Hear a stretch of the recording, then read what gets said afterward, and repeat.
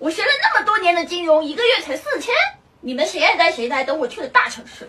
感谢哥哥的小星星。我的梦想是成为一名画家，用铅笔一笔一画的勾勒出这美丽的世界。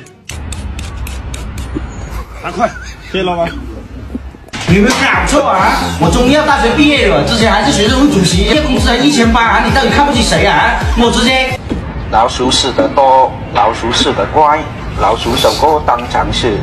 两千块钱一个月，我全国武术冠军，狗都不是这样侮辱的吧？涨不了是吧？涨不了那就。欢迎业主回家，为你保驾护航。我的梦想是当一名优秀的乒乓球运动员，我要努力训练，早日打出水准。喝这杯水。像我这种学医的，要救死扶伤，千方百计为病人解决病痛，实行人道主义。姐，这力道高是还可以啊。太重了。啊，我给你轻点哈。要不要考虑办一个我们的月销会员卡，一千八百八十八呀？不办不办不办哈。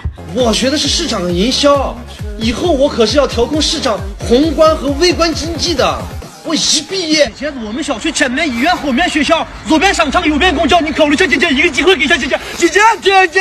我的梦想是当一名公正的法官，审判着世上所有的不公。来，你一锤我一锤，咋锤你也不能为锤一锤来锤，砸钉子赢票来，等一锤一锤，两锤，三锤。